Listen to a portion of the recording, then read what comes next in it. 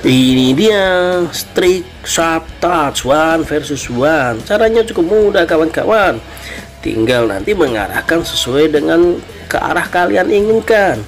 Cukup tekan R1 lalu arah. Di sini kita melihat bahwa dia melewati dengan arah atas lalu ke bawah. Jangan lupa R1-nya juga kawan-kawan. Nah, seperti ini begitu manis sekali melewati lawan meliuk-liuk dan ma terlewati. Luar biasa bukan